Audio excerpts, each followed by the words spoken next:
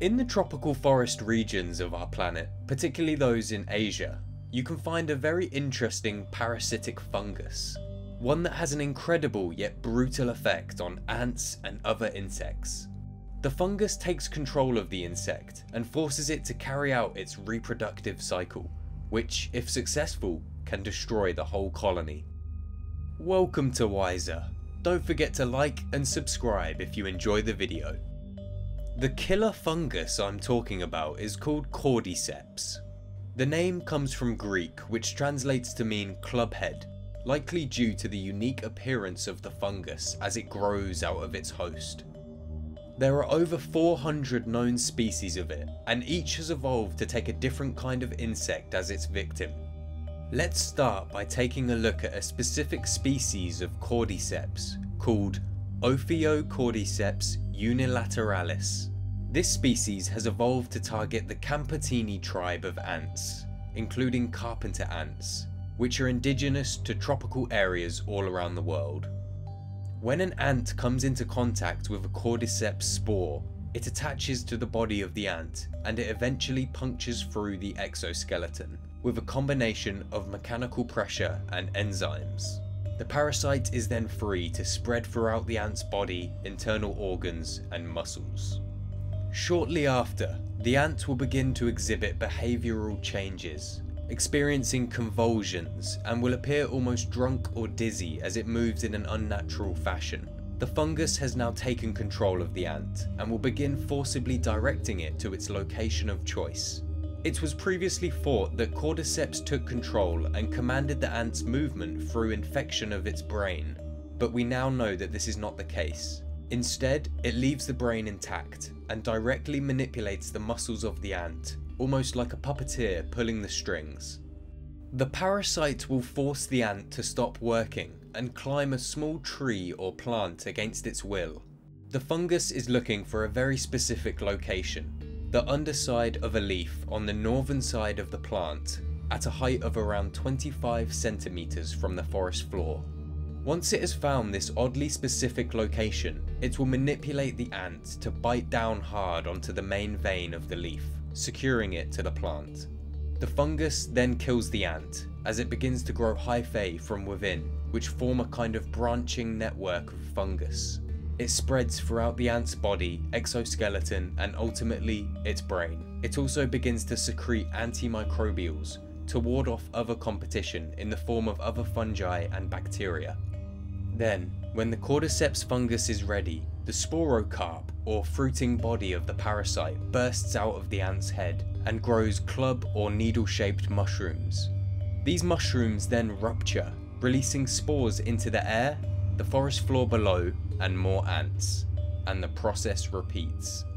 Incredibly, when the infected ant first begins to show signs, the healthy ants can sense that it is a threat to the colony they will actually pick up the infected ant and very quickly take it as far away as they can and dump it to protect the colony, almost as if it were a ticking time bomb which could wipe them all out, which isn't too far from the truth.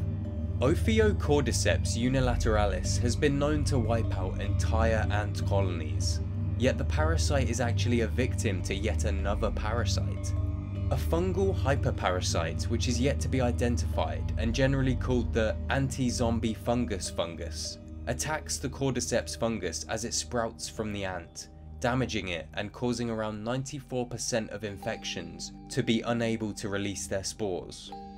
Ants are also known to clean and groom each other, which further decreases the success rates of Ophiocordyceps unilateralis. As I said previously, this is just the reproductive process of one species of cordyceps. There are approximately 399 more species, that each target a different insect. A few more of particular interest are Ophiocordyceps sinensis, also known as the caterpillar fungus, which targets only the larvae of moths. It is also described in traditional Chinese medical books as a medicine for all kinds of diseases and ailments. Ophiocordyceps robertsii, known as the vegetable caterpillar, is actually burnt by the Maori people of New Zealand, and the ash is mixed with fat and used as tattoo ink. Ophiocordyceps nutans takes stink bugs as its host. In Korea, stink bugs cause considerable damage to agriculture and forestry, and this species is essentially a biological control agent against them. And finally, for a real tongue twister, is Ophiocordyceps sphecocephala, which targets wasps and is being researched for possible anti-asthmatic and anti-cancer properties.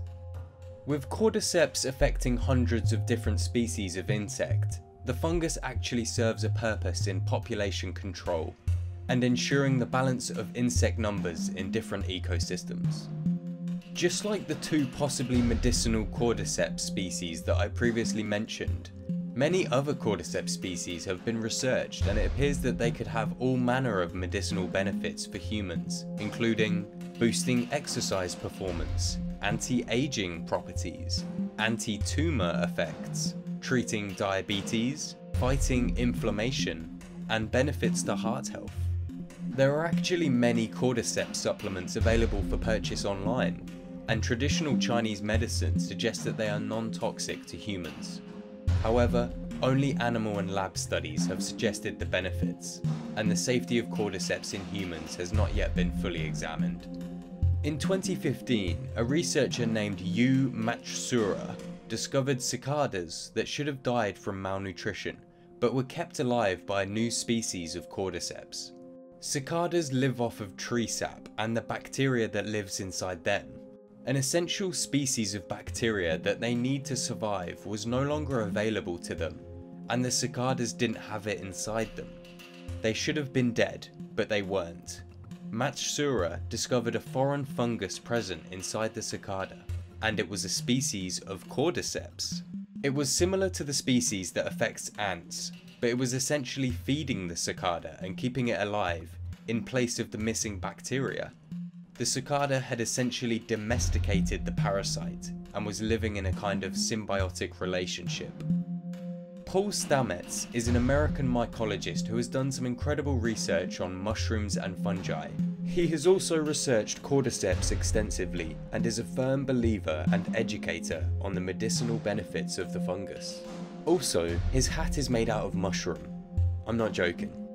He has compared the networks of mycelium fungus that mushrooms form to that of the neural network of a brain and to the artificial network of the internet. He believes that these fungal networks are actually sentient.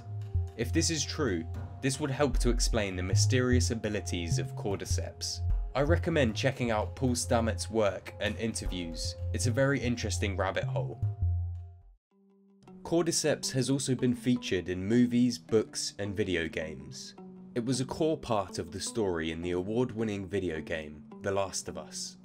The game portrays a fictional cordyceps fungus, which has mutated to be able to infect human hosts, leading to a kind of fungal zombie apocalypse. Similarly, a book named The Girl with All the Gifts and its follow-up movie adaptation depict a dystopian future where society is broken down after most of humanity has been wiped out by a mutated version of the cordyceps fungus.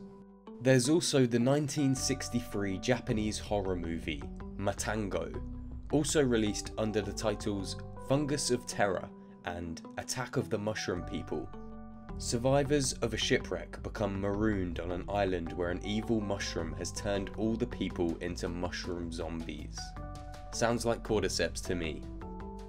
It is by far one of the most intriguing mushrooms on the planet, and it almost seems to have a mind of its own with its ability to manipulate insects. If you'd like to delve deeper into the interesting world of cordyceps, mushrooms and fungi, I'll put links to all the information I've referenced in this video in the description along with links to the work of the incredible researchers I've mentioned. Let me know what you think about cordyceps in the comments. I'd love to hear your thoughts on this parasitic medicinal killer zombie fungus.